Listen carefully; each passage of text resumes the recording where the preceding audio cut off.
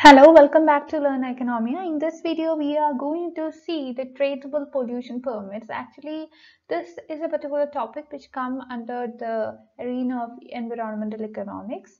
So we have already, um, actually, we have already discussed certain topics which would be coming under the environmental economics aspect, like externalities, pollution, Coase theorem, etc. So this is uh, one of the important topics in the arena of environmental economics. Let's get started.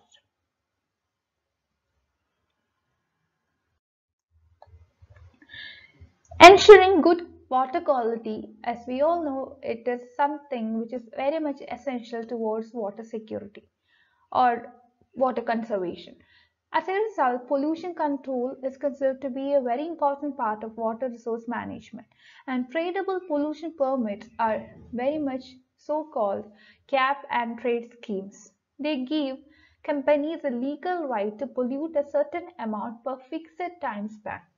Firms or companies that pollute less than they sell they their leftover pollution permits to firms that pollute more. Okay. The point of this is that polluting firms as well as public agencies differ in their ability to abate their pollution. Some can do it very easily and cheaply, uh, whereas in the case of others, it would be more difficult as well as costly. As a result, tradable pollution permits could be a cost-effective way to achieve a reduction in overall pollution. The freedom to trade pollution entitlements and this is something which gives an incentive for polluters to consider abatement, while others face the cost of having to purchase permits. For society, the existence of tradable permits enables pollution abatement to be achieved in the least costly manner.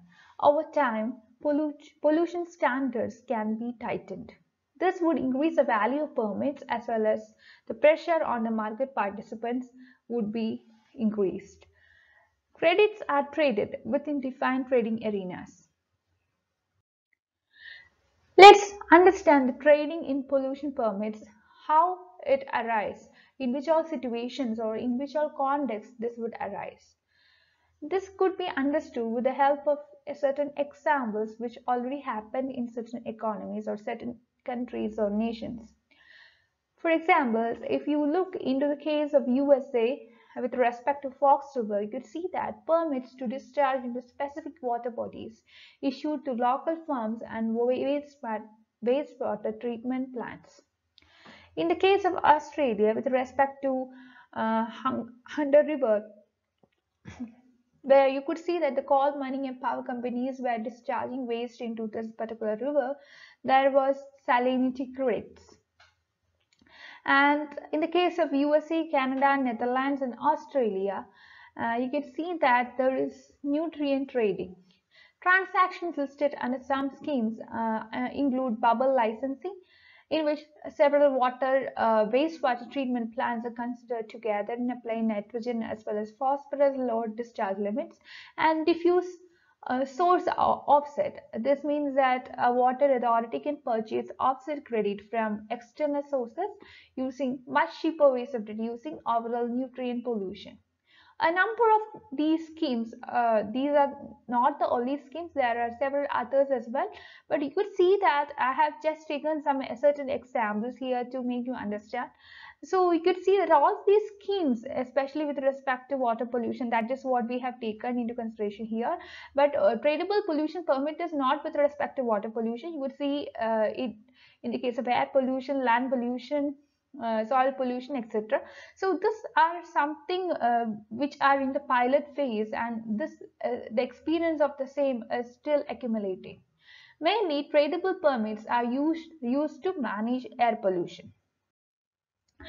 What are, uh, what are all the lessons learned with respect to tradable pollution permits? So we could see that uh, the kinds of different kinds of tradable pollution permits are used in several economies or several nations. So what is the importance of these? Sorry. We could see that there is a need for a mechanism for initial allocation of rights. Uh, this which should be seen to be fair and be equitable as well as effective. Initial prices can be set by the government or it could be determined through the public auctions. The decision on how how long permits are valid is very important if ever governments want to change the price for a pollution unit. If permits, uh, if these are considered to be valid indefinitely, then companies can bank unused pollution certificates, which means that later price corrections would be less effective.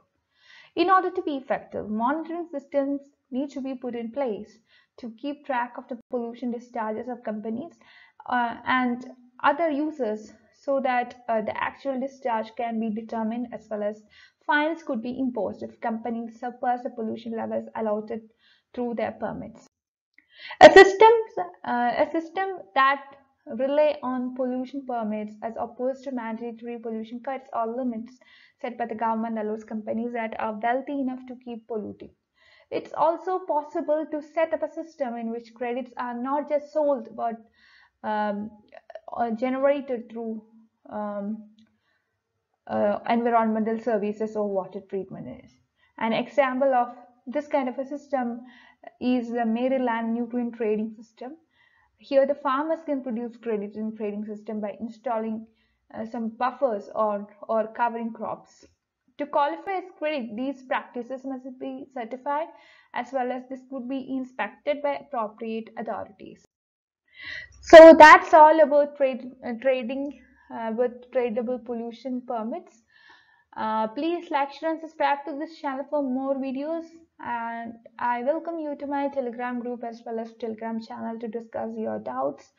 I am very happy to inform you that there are several people who could benefit out of uh, this uh, telegram group as well as telegram channel. They are making their discussions they are they are getting their uh, doubts clarified. So uh, i think uh, it would be a beneficial for you uh, with respect to offering a good platform for you to discuss your doubts and getting it clarified. So you can be there.